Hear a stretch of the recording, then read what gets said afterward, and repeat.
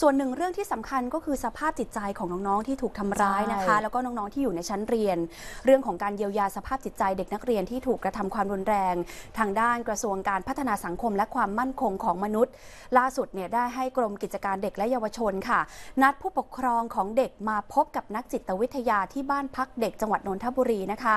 นัดเข้ามาพบเพื่อที่จะประเมินสภาพจิตใจของน้องๆทุกคนค่ะ เมื่อวานนี้ก็มีผู้ปกครองออกมาแสดงความจำนงนำเด็กเข้าพบนักจิตวิทยาแล้ว 12 ครอบครัว จากทั้งหมด 29 ครอบครัวนะคะ ก็มีนักจิตวิทยาทั้งจากศูนย์สุขภาพเขต 4 จังหวัดนนทบุรี สถาบันนิติเวชวิทยาศาสตร์กระทรวงยุติธรรม ศูนย์สุขภาพจิต กรมสุขภาพจิต แล้วก็เจ้าหน้าที่จิตเวชของบ้านพักเด็กเองก็มาร่วมด้วยช่วยกันกับกรณีที่เกิดขึ้นนี้นะคะ เบื้องต้นมีการพูดคุยประเมินสภาพจิตใจของเด็กและผู้ปกครอง ซึ่งขั้นตอนการประเมินก็อยู่กับเทคนิคของจิตแพทย์อาจจะมีการทดสอบด้านจิตวิทยาด้วยการแสดงออกทางศิลปะ ผ่านการบอกเล่า เพื่อที่จะประเมินความรุนแรงจากการถูกกระทำผลจากการประเมินล่าสุดเนี่ยจะนำไปหารือร่วมกับทางคณะกรรมการสหวิชาชีพ ที่จะมีการประชุมในวันนี้นี่แหละค่ะ เพื่อที่จะวางแผนช่วยเหลือเยียวยาเป็นรายบุคคลไปค่ะประเมินในวันนี้เป็นต้องบอกว่าเป็นขั้นตอนของทางจิตแพทย์ ที่เขาจะใช้วิธีการต่างๆนะคะของทางที่จะประเมินเช่น โดยทั่วไปเนี่ยเด็กที่ถูกกระทำเนี่ยเราก็อาจจะให้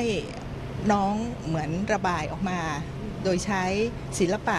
วาดภาพ หรือการบอกเล่า อันนี้ก็ขึ้นอยู่กับเทคนิคของทางจิตแพทย์ที่จะใช้กระบวนการวิธีการต่างๆ เพื่อที่จะนำสิ่งที่ได้ผลที่ได้นั้นมาประเมินว่า ความรุนแรงหรือสิ่งที่น้องถูกกระทำนั้น มันมากน้อยแค่ไหนอยู่ในระดับใด นอกจากนี้ทางกรมกิจการเด็กและเยาวชนยังได้สร้างกลุ่มไลน์ขึ้นมาสำหรับผู้ปกครองนะคะ เพื่อที่จะรับคำแนะนำจากนักจิตวิทยา ในการดูแลบุตรหลานที่ได้รับผลกระทบ ซึ่งก็พบว่าปัญหาที่ขอคำปรึกษาก็คือ เด็กบางคนมักจะมีอาการหวาดผวาในเวลานอน หรือบางคนก็นอนละเมอถึงเหตุการณ์ที่ถูกกระทำความรุนแรงค่ะ นักจิตวิทยาก็เลยแนะนำผู้ปกครอง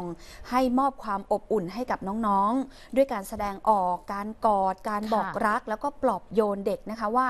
อยู่ที่บ้านแล้วนะที่นี่เนี่ยอืมเป็นที่ที่ปลอดภัยของค่ะพวกเขา คือจริง ๆ โรงเรียนก็เป็นอีกหนึ่งที่ที่ปลอดภัยถือเป็นบ้านหลังที่สองของเด็กๆนะ